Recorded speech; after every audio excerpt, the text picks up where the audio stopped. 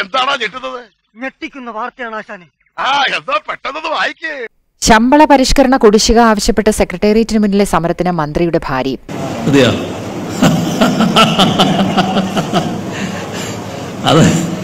ധനമന്ത്രി K N ബാലഗോപാലിന്റെ ഭാര്യ doctor ആശയാണ് college അധ്യാപകരുടെ ആനുകൂല്യങ്ങളിലെ കുടിശ്ശിക ആവശ്യപ്പെട്ട് സമരത്തിനെത്തിയത്.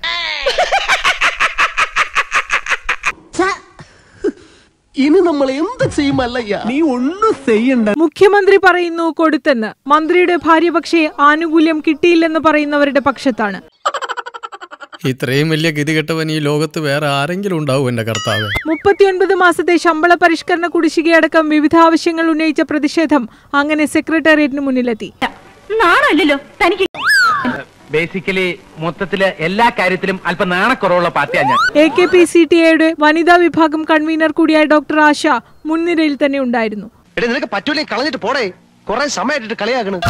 പണം അനുവദിക്കുന്നതിൽ ധനവകുപ്പിന് കൂടി പങ്കുണ്ട്. ആനുകൂല്യം സംസ്ഥാന സർക്കാർ വിതരണം ചെയ്ത ശേഷം മാത്രമേ ആ തുക നൽകൂ എന്നാണ് കേന്ദ്രത്തിന്റെ നിലപാട്. ഞങ്ങൾ അസ്വസ്ഥരാണ്. ഈ വ്യവസ്ഥിതിയിൽ ഞങ്ങൾക്ക് വിശ്വാസമില്ല. എല്ലാറ്റിനും ഉത്തരവാദി കേന്ദ്ര സർക്കാരാണെന്ന് മുഖ്യമന്ത്രിയും മന്ത്രിമാരും ആവർത്തിക്കുന്നതിനിടെയാണ് മന്ത്രി ഭാര്യ അടക്കമുള്ളവർ പ്രതിഷേധത്തിന് സെക്രട്ടേറിയറ്റ് പടിക്കലെത്തിയത്. ഒരു തരത്തിലും എന്നെ ജീവിക്കാൻ സമ്മതിക്കില്ലെന്ന് ഉറപ്പിച്ച് തീരുമാനിച്ചിറങ്ങിയിരിക്കുകയാണല്ലേ? തത്വം പഠിപ്പിച്ചാൽ മാത്രം പോരാ. കാണണം. എന്റെ പൊന്ന് സുഹൃത്തുക്കളെ ഞാൻ അറിഞ്ഞാലല്ലേ എനിക്കത് തടയാൻ പറ്റൂ? അത് കോട്ടപ്പള്ളിയുടെ തന്ത്രപരമായ ഒരു ഒഴിഞ്ഞു മാറ്റമാണ് സംസ്ഥാന സർക്കാർ നയ സമീപനങ്ങൾക്കെതിരെ മാത്രമല്ല കേന്ദ്രത്തിനും യു ജി സിക്കും എല്ലാം എതിരെ മുദ്രാവാക്യവും ഉണ്ടായിരുന്നു വല്ല കാര്യമുണ്ടോ? എന്തിനാണ് ഇങ്ങനെ ഇല്ലാന്ന് നടക്കുന്നത് സ്വന്തം വീട്ടിലെ സംഭവവികാസങ്ങൾ അറിയാത്ത കോട്ടപ്പള്ളിക്ക് എങ്ങനെ ആഗോള പ്രശ്നങ്ങൾ വിശകലനം ചെയ്യാൻ പറ്റും? എടാ എന്റെ അവസ്ഥ ഒന്ന് ആലോചിച്ചോ. ഒരു പൂവെടുത്ത് ചെവിയിൽ വെച്ചിട്ട് റോഡിൽ കൂടി ഒന്ന് ഓടിയാലോ എന്ന് ആലോചിച്ചിരിക്കുകയാണ് ഞാൻ.